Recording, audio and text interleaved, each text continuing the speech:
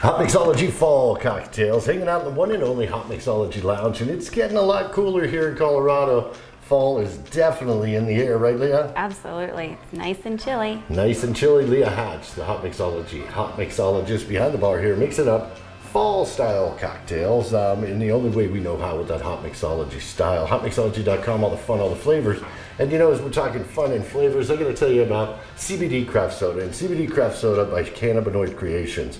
Um, the great sodas with that CBD in it, which are said to be helpful for your uh, uh, health effects, whether back uh, backache or some of the other uh, ailments. That CBD soda is just perfect. CBD is helping, and the CBD craft soda does it right um, with their different flavors, from the orange to the cereal, cartoon cereal crunch, the ginger ale, the High Times Honeydew Melon, and of course the grape. These are perfect on their own, but just great in a cocktail as well, right? They are. You have the CBD craft soda by Cannabinoid Creations. And of course, you also mixed in here Bones Rum. And Bones Rum, Virgin Island rum. And uh, Wayne started with the Bones Rum, the just the Virgin Islands rum, and then added the spiced rum to his mix. Of course, the white rum and flavors like butterscotch and cinnamon. But uh, we're using the spiced Bones rum today. Like I said, a Virgin Island rum, just perfect on its own, but really spices up this cocktail, if you will. Hotmixology.com is where to go get these uh,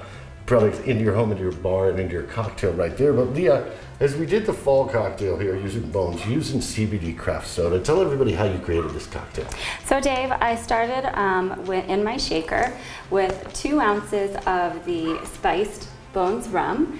Um, I muddled some blackberries in there, um, some fresh squeezed blood orange juice, some simple syrup, lemon juice and lime juice, a dash of OJ, and then we um, added our ice to that, shook it up, got it nice and cold, strained it into our martini glass here, topped it with the orange craft CBD soda, and then garnished it with a chunk of blood orange and some blackberries. Mm, beautiful cocktail. I love the uh, garnish on it, and you can really taste those flavors when you're sipping it of the uh, bones. Uh, uh, spiced rum as well as the CBD craft soda. That topping it with that orange soda really did uh, wonders to the cocktail. What are you calling this cocktail?